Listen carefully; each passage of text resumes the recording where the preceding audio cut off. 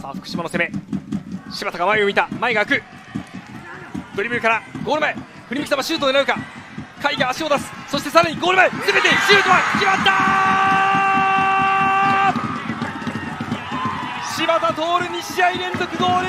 先制点は福島。さあゲームが動きました。リプレです柴田のこのドリブルからの受けて塩浜。ここでシュートにはいけませんでしたがその塩浜が最後はラストパスを送ってフリーで受けた柴田徹。